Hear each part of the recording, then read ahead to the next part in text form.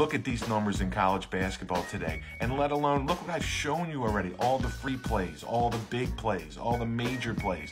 Look at these numbers in college basketball. This is how off the numbers are right now in college basketball. And when the public bets, which they do more than ever this time of year, March Madness is here, the numbers just get even better for professionals like us to take advantage of. Look at this number. Look at these early numbers. The line on the right here is the opening number, two and a half Providence Open. They only should be one.